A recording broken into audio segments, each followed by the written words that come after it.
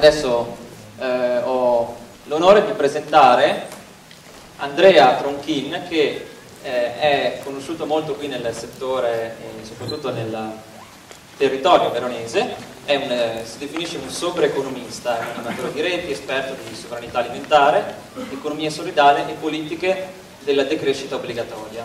Ha lavorato in molti istituti, ha fatto parte, ha un curriculum lunghissimo, quindi eh, non sto qui a leggerlo, però in particolare l'arcipelago Shek del Veneto e naturalmente Verona che vedete qui come sfondo.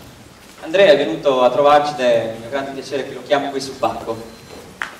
Buon pomeriggio a tutti. Proprio mi ha lasciato qualcosa. Va bene, eh, l'ora del pomeriggio è sempre un po' problematica con la digestione in corso, però chi è andato a catering suppongo che abbia mangiato bene perché contadini e cucinieri fanno roba locale, vegetariana e è fatta bene. Allora, eh, parliamo di sovraeconomia. Per parlarvi della sovraeconomia io devo parlarvi necessariamente un po' de, della mia vita. Faccio parte di naturalmente Verona che è una rete di economia solidale. Eh, rete cosa vuol dire?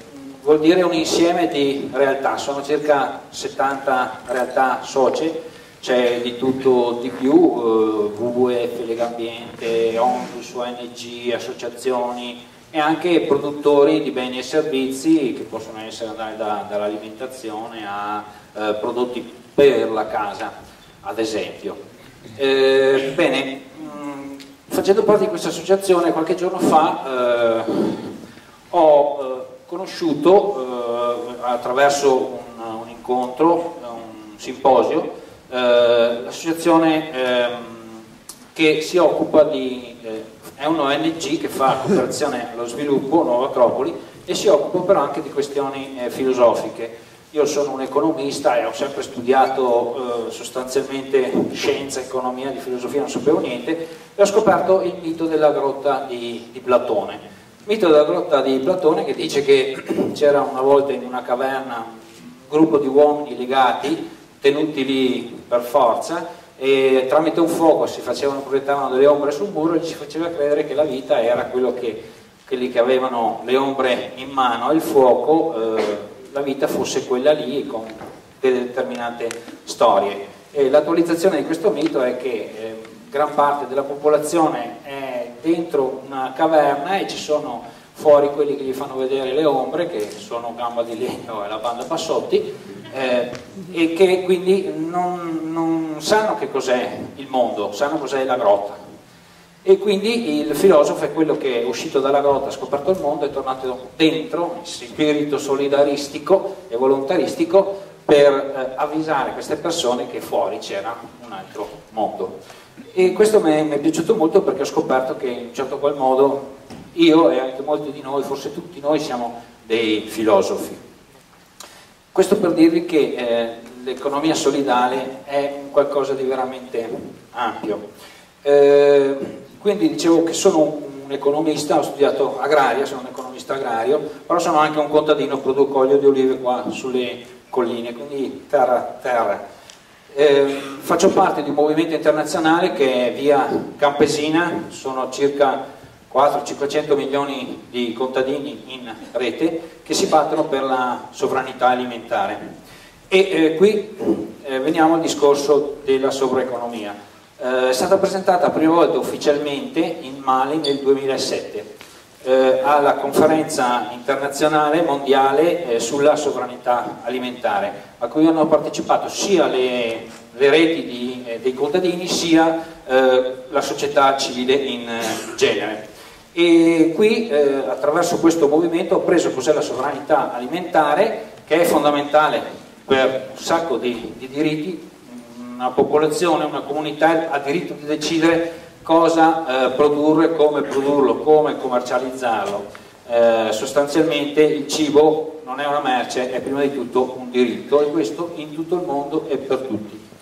Eh, questo ehm, concetto si è espanso nel 1993, è stato presentato per la prima volta alla FAO a Roma, eh, pian piano si è, si è, sviluppato, ormai è diventata una piattaforma per cui alcuni stati hanno anche assunto all'interno della loro Costituzione questo concetto che è molto complesso, eh, che non sto qui a spiegarvelo, ci vorrebbe una, una giornata solo per quello.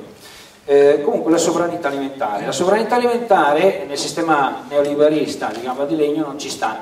È, è necessario eh, un sistema economico diverso per farlo funzionare e quindi l'economia solidale è appunto quell'elemento, l'economia, che eh, più si avvicina ed è in grado di far funzionare, far rendere, concretizzare la, la, sovranità alimentare. Tutto questo va calato in un contesto, l'abbiamo visto questa mattina, di decrescita obbligatoria, perché i limiti del mondo sono finiti, noi stiamo mangiando anche quello che appartiene alle generazioni future, sostanzialmente. Eh, quindi eh, decrescita obbligatoria che deve diventare una decrescita consapevole e quindi per chi gli piace una decrescita serenamente felice. Decrescita o a chi non piace il termine decrescita possiamo dire riduzione dell'impronta ecologica, giusto per, per, capirci. Bene, la parola sovraeconomia deriva dal castigliano perché eh, è stata presentata in spagnolo eh, tramite la, la FIMAR, Federazione Internazionale Movimenti Adulti Rurali Cattolici, che hanno partecipato nel 2007 al forum in Mali, e eh, sovraeconomia deriva da sovrania alimentaria, massa economia solidaria, massa crescimento, quei tre concetti che, che, vi ho espresso. Tutto questo insieme fanno qualcosa di, di concreto, eh, diciamo un, un, bene comune, però deve essere compreso. Infatti eh, l'economia solidale è concreta, parliamo dei gruppi di acquisto solidale, parliamo dei eh, distretti di economia solidale, parliamo di banca etica, parliamo di mutuo autogestione, parliamo delle cooperative, qui eh, vi ho fatto un elenco. Eh, quindi è un, un bene eh, comune derivante dall'ingegneria sociale. Quindi la, la sovraeconomia è una strategia di rete che si deve eh, concretizzare su, sul territorio, che si sta concretizzando. Il problema è che non c'è una, una comprensione. Eh, si tratta di una serie di progetti eh, concreti. Allora, eh, la sovranità alimentare eh, apre una porta al discorso delle sovranità. Eh, noi abbiamo perso non solo la sovranità economica come monetaria, come è stato visto stamattina, le 500 lire che sono passate da Repubblica Italiana a Banca d'Italia, lì abbiamo dato la nostra sovranità Cosa vuol dire sovranità? Articolo 1 della Costituzione, la sovranità appartiene al popolo, così sta scritto sulla nostra Costituzione. Quindi eh, i beni non possono essere proprietà private, beni comuni, ma devono essere del popolo, se non sono del popolo noi abbiamo perso la nostra sovranità. Allora, sovranità alimentare, tranquilli l'abbiamo persa, qui ormai non riusciamo più a produrci la sufficienza per tutti, importiamo più di metà di quello che, che consumiamo, per il sistema che ci stanno imponendo di import-export. Eh, la sovranità idrica non ve la sto a dire, abbiamo fatto un referendum, una campagna è ben chiara a tutti cosa significa, ma esistono anche altre sovranità, ad esempio la sovranità su, sull'energia, noi importiamo eh, almeno l'80-60-80% dell'energia che, che, consumiamo alla fine, lo, lo prendiamo da altre fonti e non ce la produciamo. Allora eh, la sovraeconomia cosa, cosa fa? Eh, propone dei progetti concreti, qui ho dei volantini che vi lascio a eh, chi li vuole vedere, eh, gruppi di acquisto fotovoltaico. Allora, ehm, i gruppi di acquisto sono acquisti collettivi, sono eh, un'idea, un uno slogan che è stato lanciato, grazie se non ce ne sarà per tutti però, uno slogan che è stato lanciato eh, per dire l'unione fa la forza sostanzialmente con Mondo e, e Mondo. Il progetto dei pannelli fotovoltaici si chiama Sole in rete, è promosso da una ONG a livello nazionale, qui nel Veneto in due o tre anni sono stati piantati più di 900 eh, impianti fotovoltaici per una produzione di 400 megawatt, cioè eh, quattro grosse centrali fatte da pannelli fotovoltaici montati dalle famiglie che con più o meno mediamente 500 euro possono farsi eh, i pannelli in cima a casa. Eh, più famiglie spendono di meno. 500 euro perché? Perché eh, con la forza contrattuale è possibile mettersi d'accordo con i produttori di pannelli, con gli installatori e soprattutto con le banche che finanziano al 100%, si tengono gli incentivi e eh, detraggono un po' della vendita dell'energia che andrà sempre crescendo il costo, cioè le famiglie non solo risparmiano ma possono guadagnare e quindi l'investimento per le famiglie è praticamente eh, questi 500 euro rispetto all'impianto praticamente niente e questo è attuabile già da oggi e il problema è che questo specifico progetto segue eh, gli incentivi che per il eh, fotovoltaico rappresentano il 16% di quelli dati alle eh, energie rinnovabili. Per dire qualcosa di, di concreto, eh, sulla sovranità alimentare, ad esempio qua a Verona è stato attivato un, un percorso di, di, piccola distribuzione organizzata attraverso delle cooperative di biologici, circa 150 produttori, eh, che forniscono materie, eh, materie prime di, di stagione biologiche fatte bene. E eh, abbiamo organizzato un sistema per eh, far arrivare alle famiglie queste ceste eh, di vari prodotti locali che sono tra l'altro eh, seguite da, dall'Università di Micina, cioè analizzate e viene fatta una carta d'identità e eh, sono, se chi lo vuole, secondo una dieta bilanciata eh, perché l'alimentazione sia ottimale per l'organismo umano, una persona media. Più, volendo, ci aggiungiamo anche delle ricette per cucinare, perché tanti prodotti che stanno scomparendo dai supermercati e che qua invece sono sempre stati prodotti, non si sa neanche più come cucinarli, ad esempio certe radici o certe, eh, certi tipi di, di verdura. Adesso vediamo qualcosa di, interessante, sempre fa parte della sovraeconomia, questo sistema di rete che si deve espandere. Questa è sovranità monetaria, sono sostanzialmente delle monete locali, eh, tecnicamente sono degli abbuoni e eh, anche qua ci sarebbe da parlare una settimana, è un po' difficile. Eh, queste monete eh, sono degli abbuoni perché se facevamo delle monete, come il tipo la dite, non andate in giro che, a dire che io ho fatto una banca, se io dico faccio delle monete, domani anche subito vengono qua, mi pigliano e mi portano via. E noi abbiamo fatto degli abbuoni. Eh, questo non gliene frega niente, ah, sono degli abbuoni. Come la pasta Buitoni che ha l'abbuono sulla scatoletta, tu lo ritagli, vai alla cassa, lo dai, ti fanno uno sconticino.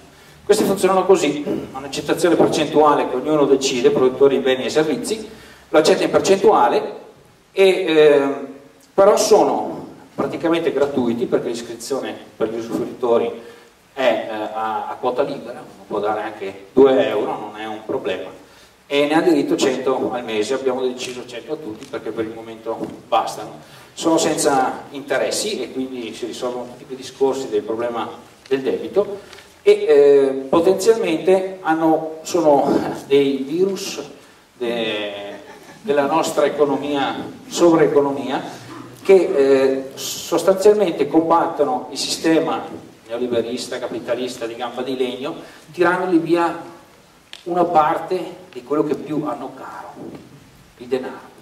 Il denaro e la sovranità. La sovranità, loro dicono che te la danno, la libertà, ma se te la danno, cavolo che libertà, bisogna conquistarsela. Quindi questi pezzi di carta sono uno strumento didattico, sono un virus eh, e sono 100 questi che sono costati 35 centesimi. Se fossero 100 euro costerebbero 100 euro più un tasso di interesse adesso non me lo ricordo, basso comunque 3, 4, 5, 10%, dipende dalla banca che vai. Eh, se il popolo dell'acqua, non so, 10 milioni di persone per la sovranità idrica dicono, beh adesso sovranità monetaria, e spendono 100 di questi, 10 milioni per 100, vi fate i conti, viene fuori un miliardo. Ma se tutti gli italiani sono 60 miliardi che domani noi possiamo recuperare al costo di 5, 10, 15 mila euro per stamparli. Però già abbiamo il formato elettronico, si può fare il bonifico, questa cifra si può cambiare, si può ridurre senza bisogno di fare manovre, semplicemente cominciando a spendere questi, perché ognuno di questi spesi è un euro risparmiato quindi aumentano il potere d'acquisto, agganciano l'economia al circuito locale selezionato perché mica tutti possono entrare. La Coca-Cola qui la vogliamo, che si stia nel suo sistema, che noi ci facciamo il nostro, difendiamo la nostra sovranità, perché questo è un fondamento, poterla difendere. La difesa della sovranità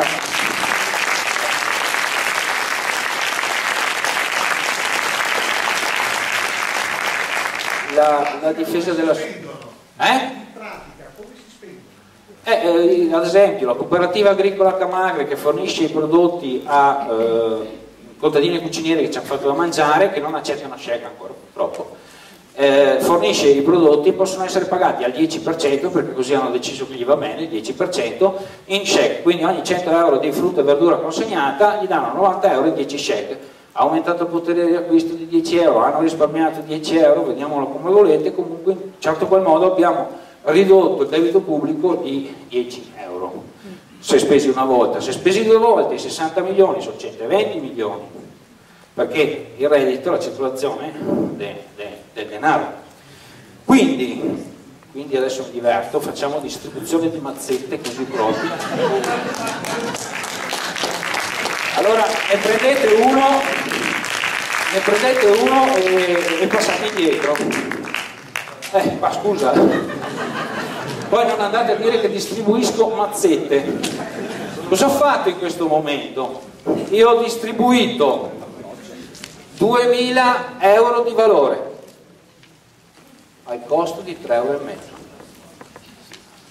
Perché 100 di quelli lì, un valore di 135 centesimi, fate i conti, insomma siamo lì. Anche fossero 10 euro, sono 2000 euro sono curioso di vedere, se no neanche forse con un'altra mazzetta, se, se tutti arrivano e faccio notare, questa è didattica, che le persone che si sono un po' messe ai lati sono eh, autoescluse dalla distribuzione perché lì bisogna alzarsi e, e muoversi per, per, venire a prenderle. Eh, dicevo, la sovranità bisogna conquistarsela e qui vorrei citare un aneddoto, come siamo qui tempi? Un aneddoto. Un aneddoto? Ah, eh, sì. Un aneddoto. Eh, un aneddoto. È storia. Eh, io mi definisco militante del movimento per la sovranità alimentare, per l'economia solidale e per la decrescita e quindi per la sovraeconomia sostanzialmente. Una parola nuova, si poteva usare quella come un'altra, è solo per indicare che se si metteva sovraeconomia uno diceva ah, ecco sopra eh, cominciava già a pensare per conto suo, ma invece bisogna apprendere cosa vuol dire perché è un concetto complesso. Però eh, quello che voglio dire è il 16 di questo mese eh, in America Latina è stato ucciso Christian, che è un militante del movimento de, di via Campesina, dei contadini, che difendeva la proprietà della terra, la sovranità sulla terra e dei sicari mandati da un'industria locale che ha degli interessi di speculazione sulle terre che stanno mandando via contadini e indios gli hanno sparato. Allora eh, è un mio compagno come possono essere tanti di quelli che stanno in naturalmente Verona che è morto. Eh, conquistarsi la sovranità non è semplice, sarà duro, ripeto ci sono anche i morti, e però questo contatto con la realtà e con la morte eh, attraverso Via Campesina e la mistica che esprime, e la mistica fa parte della, della sovraeconomia, la mistica è quel vivere con passione ciò che si sta facendo, mettendoci di più di quello che viene richiesto perché semplicemente ci credi. Eh, io vi dico che nell'assemblea che abbiamo fatto in Brasile nel 2004 c'erano 600 delegati a tutto il mondo, eh, questo è già il secondo martire di Via Campesina. Eh, uno è stato lì della Corea del Sud a Cancun, che quando si fanno queste assemblee eh, fa, fa, venire i brividi perché viene fatto l'elenco dei presenti e poi vengono nominati gli assenti, eh, Companiero lì, Companiero Cristian, e tutta l'assemblea risponde presente. Eh, dà una forza che è difficile da, da, da spiegare. E ora vorrei eh, concludere con eh, un regalo, un regalo eh, dei movimenti contadini eh, che fa parte della mistica, così forse riesco a trasmettervi anche il significato di mistica. È una canzone, sono sei strofe, eh, composta dai contadini coreani, tradotta in spagnolo, poi in inglese, poi in francese, poi in tedesco, eh, anche in italiano e, e lancio un messaggio, eh, sono ripeto 500 milioni di contadini in tutto il mondo eh, che si stanno mettendo insieme con la società civile e questa loro canzone esprime bene cosa sta succedendo dal loro punto di vista. Vi leggo il testo in italiano. Eh, tutto il mondo sta dormendo, è il tempo di svegliarsi, piangono i contadini, le donne, i bambini, è il tempo di svegliarsi, di unire le mani e il domani costruire. Il futuro che verrà, nuova era sarà. Rifluttiamo l'oppressione di questa globalizzazione. Tutti uniti sotto qual bandiera, meraviglioso sarà. La vittoria è in fronte a noi, uniti lottiamo e balliamo. Ora, mentre mentre ve la canterò, siccome non ho strumenti musicali, io suono anche strumenti musicali, ma mi sembrava eccessivo portare pure la chitarra.